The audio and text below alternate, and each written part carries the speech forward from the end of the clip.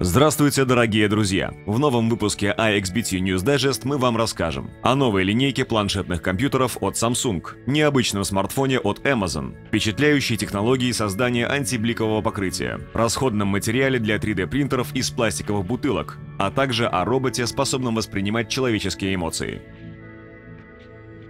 Компания Samsung официально представила планшетные компьютеры с экранами Super AMOLED, образовавшими линейку Galaxy Tab S. Экраны Super AMOLED характеризуются разрешением 2560 на 1600 пикселей, контрастностью 100 тысяч к одному и обеспечивают покрытие свыше 90% цветового пространства Adobe RGB.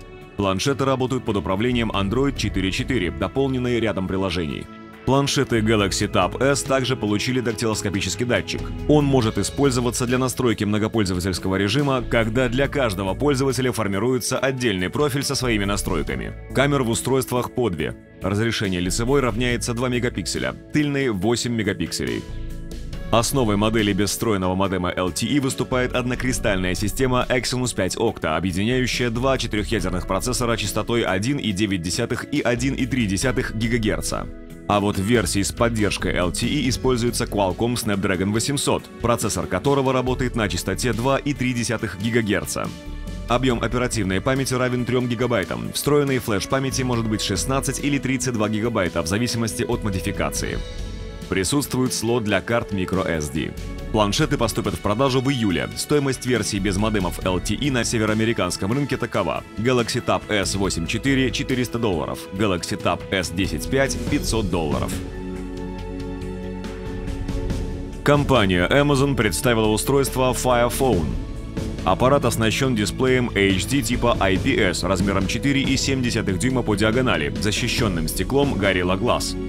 Основой устройства служит однокристальная система с четырехъядерным процессором, работающим на частоте 2,2 ГГц.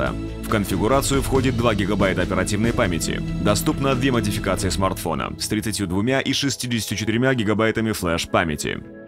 Оснащение Amazon Fire Phone включает основную камеру разрешением 13 мегапикселей.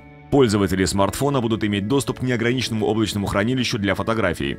Производитель отмечает звуковую подсистему со стереофоническими громкоговорителями и поддержкой объемного звука Dolby Digital Plus. Интересной особенностью Fire Phone является функция Firefly, способность с помощью камеры распознавать книги, DVD, номера телефонов, адреса, игры и другие объекты. С помощью микрофона она может распознавать звукозаписи. Результаты распознавания будут транслироваться в кнопку «Купить» в магазине Amazon. Важной особенностью устройства является система датчиков Dynamic Perspective. В ее входят камеры с инфракрасной подсветкой. С их помощью аппарат отслеживает направление, откуда пользователь смотрит на экран. Эта информация может быть использована приложениями и играми при формировании изображения на экране. В результате пользователь как бы смотрит сквозь экран смартфона на мир, находящийся внутри аппарата.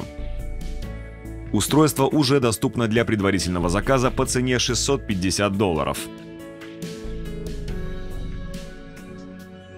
Компания Corning показала разработку, улучшающую свойства защитных стекол, используемых в мобильных устройствах. Специалисты Corning создали антибликовое покрытие, которое можно будет встретить в серийной продукции уже в этом году. Покрытие наносится на обе стороны стекла. В сочетании с технологией ламинирования без воздушного зазора это обеспечивает практически полное отсутствие отражений. Для демонстрации покрытие нанесено только на круглом участке в центре стеклянной панели. Известно, что первым изделием, в котором используется защитное стекло с антибликовым покрытием, станет трансформируемый ноутбук Lenovo. 3D-принтере EcoCycle Cube для создания расходного материала используются бывшие в употреблении бутылки из пластика. По словам производителя, для такого материала характерна гибкость и прочность. Доступно 4 варианта – красный, черный, белый и неокрашенный. Одновременно для печати можно использовать материалы двух цветов. Один картридж содержит количество вторично используемого пластика, эквивалентное трем бутылкам. Принтер EcoCycle Cube стоит 1200 долларов. Продажи должны начаться во втором полугодии. Японский мобильный оператор SoftBank Mobile и специализирующийся на выпуске роботов-гуманоидов компания Aldebaran представили робота Pepper. По их словам, это первый персональный робот, способный воспринимать эмоции.